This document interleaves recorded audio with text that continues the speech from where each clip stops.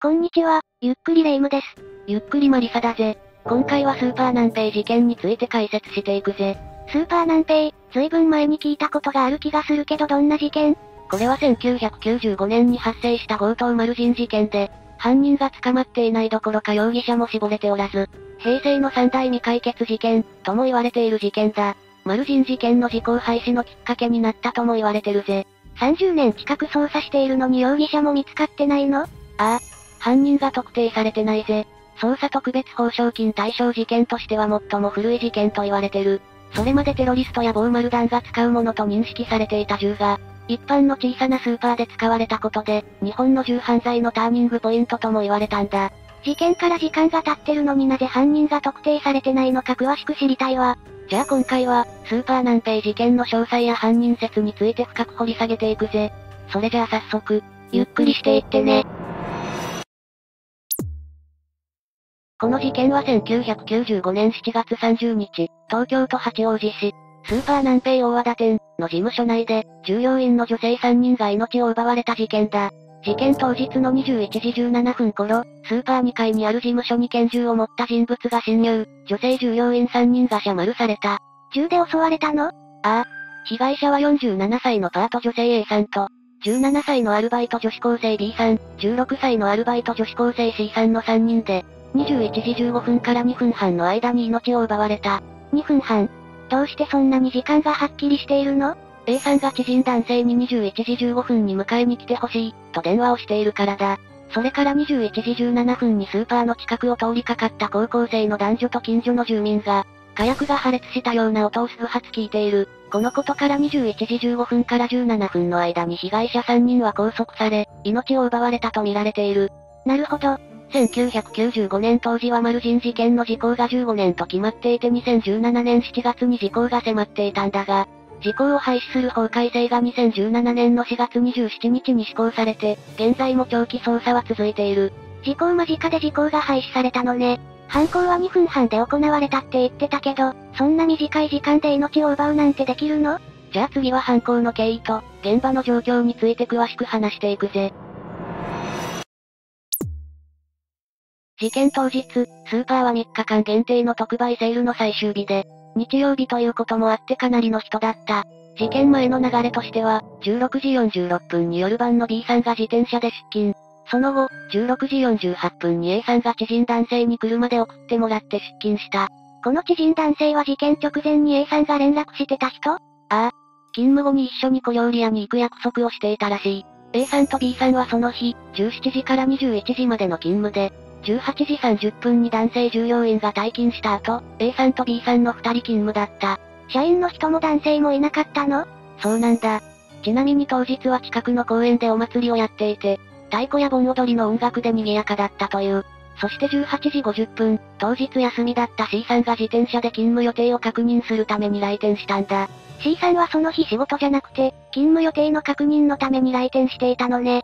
そうだな。それと C さんは勤務後の B さんとお祭りに行く予定だったんだ。だから B さんを待つために閉店までスーパーにいた。B さんと C さんは仲が良かったのね。ああ。小学校時代からの同級生だったらしいぜ。その後、最後の客が買い物をして帰ったのを確認して閉店したのが21時だ。その後、閉店準備をした A さんと B さんと事務所へ行った後、21時15分、A さんが知人男性に連絡をして、事務所のセキュリティシステムを作動させて入り口が施錠しているのが記録されてる。施錠三人は事務所にいて襲われたんじゃなくて、事務所を閉めて一旦外に出てたってこと？ああ。事務所のドアの前に自転車の鍵が落ちていたことから、帰宅しようと外に出た三人が犯人に脅されて事務所に戻った、と推測されている。そこから A さんの知人男性がやってくるまでどれくらいかかってるの ?A さんの知人男性がスーパーに到着したのは21時20分頃だ。A さんが駐車場にいなかったから車で待機していたが、25分ほど待っても出てこないため、先に向かってしまったのかと思い、車で小料理屋に向かった。一旦スーパーを離れているのね。でもそこにも A さんはいなかったので、スーパーの事務所を確認しに行くことにしたんだ。でもスーパーの事務所は更衣室としても利用していたことを知っていたから、小料理屋の女将にスーパーまで同行してもらった。女将に事務所の中を確認してもらおうとしたのね。ああ。22時頃、女将が事務所に行くと、玄関の鍵が開いていた。おかみはドアを開けて声をかけたが返事がなかったため、誰もいないと判断して一旦車に戻った。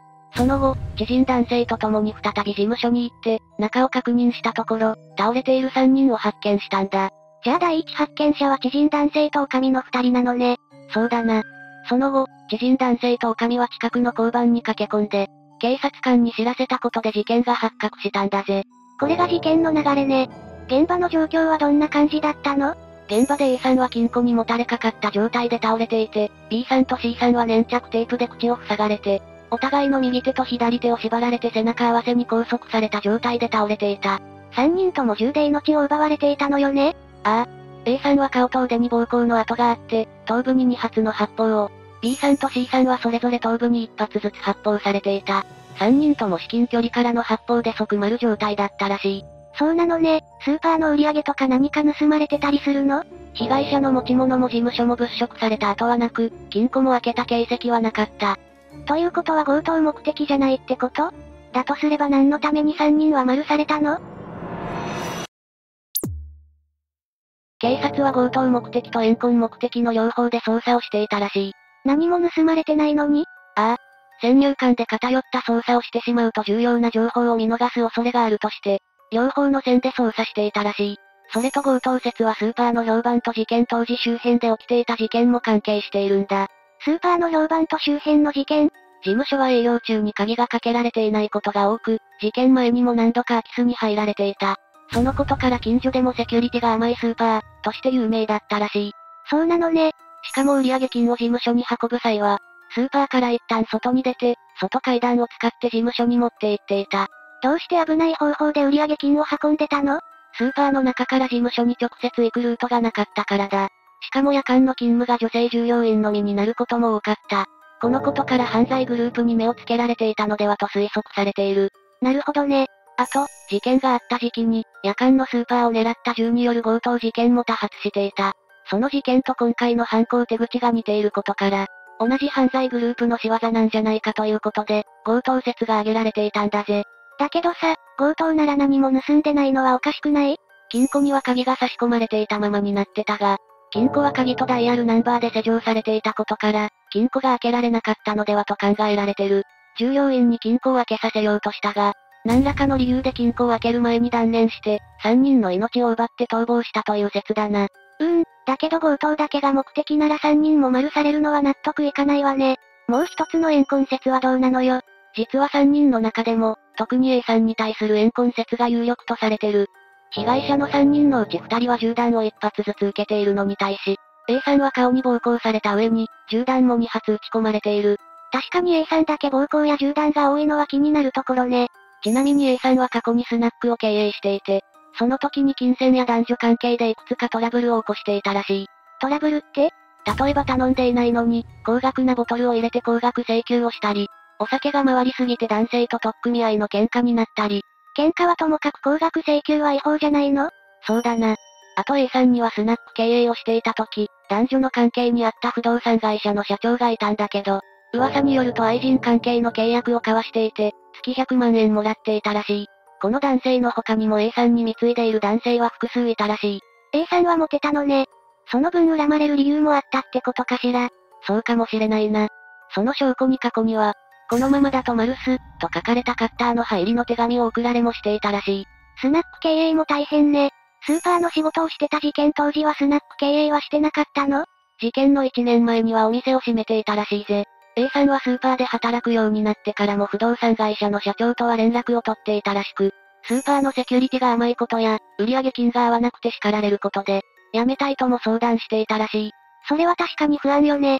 A さんは男性の助言で一度スーパーを辞めたが、スーパー側に戻ってきてほしいと言われて、再びスーパーで働くことになった。その後は夜間の店長代理を任されていたり、夜間の金庫係も頼まれて売上金を金庫に入れる管理もしていたらしい。随分信用されてたのね。また A さんは事件の直前に、近々5000万円入ると知人に話していたらしい。このことから A さんが何らかの人間関係のトラブルや、金銭トラブルに巻き込まれた可能性もあるとみられる。あと、怨恨説の根拠としては犯人が余計な動きをしていないことが挙げられる。余計な動きって？犯人の事務所内での行動が、事務所の入り口から金庫までまっすぐ向かった後、被害者が倒れていた周辺を歩いてそのまま入り口から出て行ってるんだ。物色した足跡がないってことね。そうだな。社長の机にあった貴金属も金庫にあったセール期間中の売上金526万円も、手はつけられてなく、3人の持ち物は物色されてなかった。でも金庫の開け方を知らなかったから盗めなかったんじゃないの ?A は金庫の開け方を知っていたし、店長の机の上には金庫のダイヤル番号の紙が置いてあったんだ。もし強盗目的なら A さんに金庫を開ける方法を聞くこともできただろうしな。じゃあやっぱり怨恨説が濃厚じゃない？不審な人物とか目撃情報は一切なかったの？事件当日の夕方から夜にかけて、スーパーの中や外で、複数の不審人物が目撃されてはいるんだけど、どの人物も犯人の特定までには至らなかった。そっか、ちなみに犯人は複数犯の可能性もあるのかしら？警察の捜査で犯人の足跡は事務所内に10個あったが、すべて同一人物のものだった。このことから単独犯だと断定されてるぜ。警察は被害者に対して至近距離で確実に撃ち抜いていることから、銃を撃ち慣れている人間と推測している。それってプロの仕業ってこと？ああ。何の躊躇もなく撃っている様子から、何らかの訓練を受けた人間の可能性が高い。それと犯人が使用した銃はフィリピン製の模造品なんだが、低性能で命中率が低いとされている拳銃なんだ。それを確実に命中させてることから銃の知識もあったのではと推測されてる。これはますます闇が深くなってきたわ。被害者を拘束していた粘着テープに、犯人のものと思われる指紋が付着していたんだけど、その指紋の特徴と8点一致する男性 D が2015年に前科者のデータベースから出てきたんだ。2015年って言うと事件から20年後でしょ？どうしてそんなに時間がかかったの？前科者のデータベースには指紋の特徴が12点以上一致しないと、該当あり、とは出ないらしいんだけど、それでも数件でも指紋が一致する人間を捜査し続けていたところ、D にたどり着いたんだ。8点が一致する確率はどのくらいなの ?1 億人に1人と言われてる。しかも残りの4点は一致しなかったんじゃなくて、指紋が不明瞭で確認できなかったらしい。い、1億人？それってほぼ犯人の指紋確定じゃない？だから警察も D を探し始めたんだ。その後の捜査で、事件当時に目撃されていた白のセダンと同じ車種を D は所有していたことも分かった。それなら D が犯人で決まりなんじゃないの？ただ、D にはアリバイがあったんだ。事件当時、D は運送会社に勤務していたんだけど、そこのタイムカードによって、事件発生時間にスーパーには来ていないことが判明。また男性の親族から採取した DNA と犯人の DNA が一致しなかったことから、犯人の可能性は低いとされている。そっか、じゃあなんで指紋がついてたのかしら。事件の前に何らかの理由で触れたものが残っていた可能性もある。ただ、D 本人に事情を聞くことはできなかった。なぜなら D は2005年前後に病気ですでに亡くなっていたからだ。そうなの？じゃあ他に犯人と疑われてる人はいるの？元ボーマル団関係者の E だ。E は事件当時、ボーマル団の一員で丸物の売買などをしていた。だが事件当時は、娘と公園でキックボクシングの練習をしていたと証言している。じゃあ E も違うのか。ただ、E の知人によると、事件の2、3日後に突然 E がやってきて、周りを気にしながら、俺は追われてるかもしれない。八王子の事件は俺はただ車を運転して外で待っていただけだ。すると急にパンパンと撃ってしまったんだ。まさか本当にやるとは。と話していたらしいんだ。それって、自白じゃないの？本当ならな。嘘の可能性があるってこと？ああ。E は丸物中毒で1年間入院経験もあって、発言が妄想の可能性もあると言われてる。その証拠に E は八王子には住んだことがないと言ってるんだけど、何人かの友人には八王子に住んでいたことがあると言っている。言っていることが矛盾しているわね。そうだな。そういったことから警察は E を最終的な容疑者からは外したらしい。だが容疑者はまだいるぜ。強盗マルジンで現行犯逮捕された F だ。まだ他にもいたのね。F は2002年に別の事件で家宅捜索されてるんだけど、隠し持っていた14丁の拳銃のうち1丁の戦場痕と、スーパー南平に残されていた銃弾の戦場痕が酷似していることが分かった。戦場痕？戦場痕は銃を撃つ時にできる後のことで、銃弾と拳銃の両方に残る特徴がある。これを調べることによってどの銃から撃たれた弾なのかがわかるんだ。じゃあスーパー南平に残ってた銃弾が F の拳銃から発砲された可能性があるってこと？そうだ。このことから F が容疑者として急浮上したんだ。ただ戦場痕はあくまで告示止まりで、一致はしていなかったことから、決定的な証拠にはならなかった。その後も F に対する捜査は行われたが、最終的には F は犯人ではないという結論に達した。怪しいけど犯人ではないって人ばかりなのね。他には？2013年に中国で丸物の密輸容疑で極刑判決を受けた日本人がいるんだけど、その日本人が供述中に、カナダにいる中国人がスーパー南米事件の犯人を知っているはずだ。と証言したんだ。事件の犯人を知ってる？それって誰？中国出身の G だ。ただこの日本人も E と同様に丸物中毒だったことから発言の信憑性が疑われた。どいつもこいつも中毒者ばっかりじゃないの。でも日本警察は G が事件に関わる何らかの事実を知っている可能性があるとして、G を別の事件でカナダ当局に引き渡しを要請し、カナダ在住の中国籍の男性を日本に移送させたんだ。別の事件って？パスポートの不正利用だ。G は日本人の知人の名義を借りて、不正にパスポートを作って日本を出国していた。日本とカナダは犯人引き渡し条約を結んでいなかったので、引き渡しは難航したが、それでもなんとか G を日本に移送することに成功した。G を取り調べるチャンスを得たってことね。日本に移送された G はパスポート不正利用についての容疑は概ね認めたが、スーパー南米事件は知らない、の一点張りだった。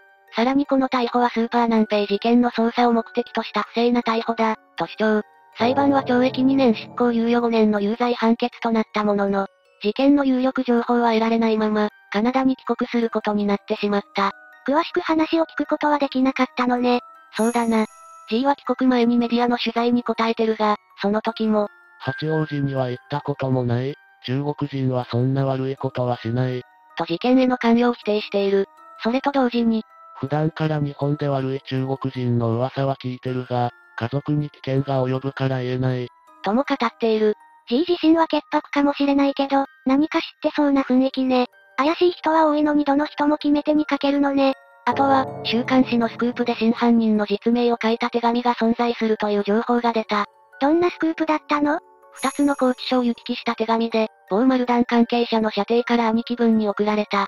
この射程は元自衛官で、1992年頃は新聞配達の仕事をしていて A さんとも知り合いだったらしい。スーパー南米事件の犯人を知っていて、自分が犯行に使われた拳銃を捨てたという内容だ。犯行は金庫の中の金が目的で、事務所内に詳しい内部の人間の手引きで侵入した。金庫には700万から800万円あって女性の手引きで侵入したが口封じに命を奪った。とも書いてあったらしい。800万円金庫の中身って526万円だったんじゃないの？実は金庫には売上金の526万円の他に、交通事故の示談金300万円が入っていたと店長が言っているんだ。しかもこのことは警察には隠していたらしい。またこの手紙には A さんと店長は男女の関係にある、とも書いてあった。そっか、射程は A さんと知り合いとはいえ、どうしてこんなにスーパーの事情に詳しかったのかしら。実は店長はブランド品や高級時計を身につけ、毎晩、八王子の歓楽街を遊び回る人物だった。交友関係も広く、某丸団関係者をスーパーの事務所に招いて、時計を自慢していたという噂もある。だから射程は店長とも何らかのつながりがあったのかもしれないな。じゃあ A さんと店長の関係も本当だったのかしら？店長は、初めは否定していたが、A さんに迫られていたとも話していたらしい。実際、店長は事件の第一報を受けた時に、そんなバカな。三人とも丸されるわけがない。と話していたらしい。でもここでも警察は射程、店長ともに容疑者に特定するまでは至らなかった。怪しい人物が多すぎて頭がこんがらがってきたわ。あと、不審な人物はもう一人いるんだぜ。まだいるの？誰？第一発見者で A さんの知人男性だ。どうして A さんの知人男性が怪しいの ?A さんの知人男性は21時15分に A さんから迎えに来てほしい、と電話があったと証言していて、これは記録としても残っている。じゃあ別に怪しくないんじゃないの？でも5分間で2人を拘束し、3人の命を奪って逃走するのは、単独犯では物理的に無理に近い犯行なんだ。確かに、事務所から出てきた3人を事務所に戻して、女子高生2人の手首を粘着テープで固定したり、A さんを暴行したりしているもんね。ああ。だから知人男性の A さんから電話が来た、という証言が怪しくなってくるんだ。でも通話記録は残っているんでしょ？ああ。ただ、それはスーパーの事務所から A さんの自宅にかけられた記録であって、A さんと知人男性が会話した記録じゃない。どういうこと？事務所の固定電話から知人男性宅の電話に電話した記録が残っているだけで、A さん本人が電話をかけた証拠は知人男性の証言以外どこにもないんだ。ってことは知人男性が嘘をついてる可能性があるってこと？ああ。21時17分に発砲音が確認されてることから、3人が撃たれたのはこの時間で間違いない。そうすると犯行を可能にするには電話は犯人がかけていて、21時15分の時点では、3人はすでに拘束されてた可能性が高くなってくるんだ。で、でも、もしかしたら犯人に脅された A さんが電話をかけた可能性もあるんじゃない？そうだな。でもその場合普通とは違う雰囲気に知人男性が気づくはずだ。でも知人男性はそういった証言は一切してない。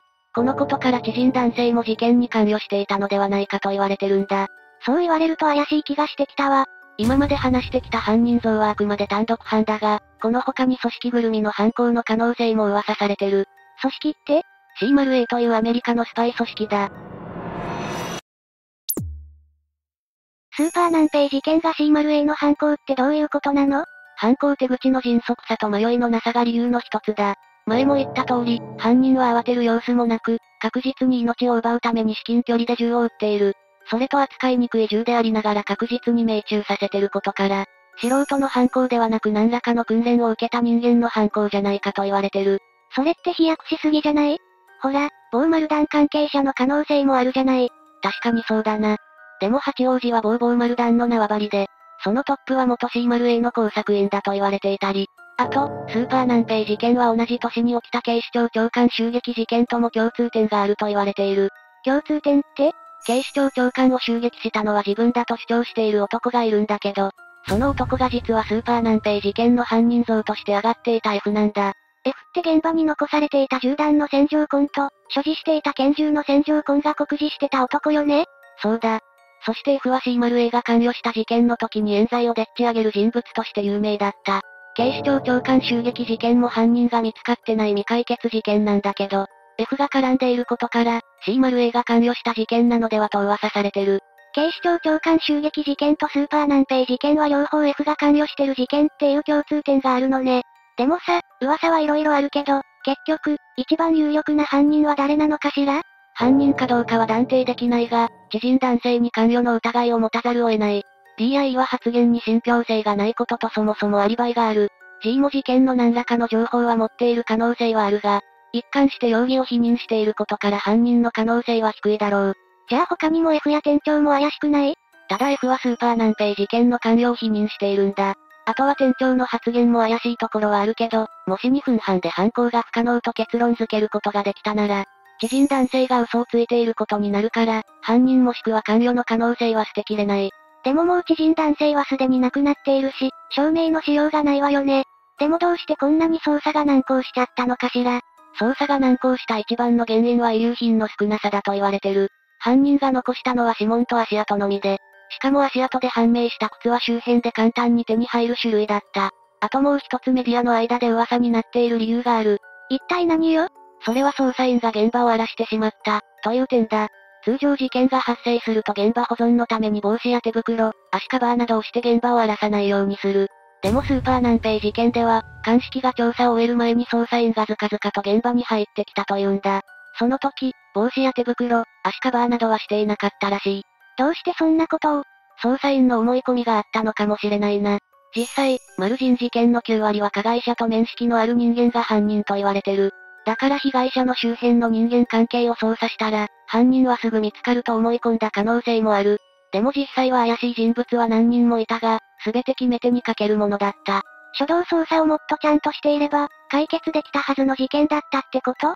あくまでメディアの中での噂だから断言はできないけど、これが本当なら警察は自分たちの過失で未解決事件にしてしまったってことになる。もしくは、真相を公にできない理由があってあえてそうしたのか。そ、それこそ深すぎる闇だわ。ということで今回は、スーパー南平事件について解説したぜ。これだけの年数が経って容疑者を絞りきれてないことから、この先も捜査には苦労しそうね。ただ時効は廃止になったから捜査はこれからも続けられる。捜査を続けていく上で新たな容疑者や証拠が見つかることを願うぜ。かなり闇が深そうではあるけど。ということで今回はここまで。動画の意見や感想があったら気軽にコメントしていってほしいぜ。よかったらチャンネル登録や高評価もよろしくお願いします。では今回はここまで。最後までご視聴ありがとうございました。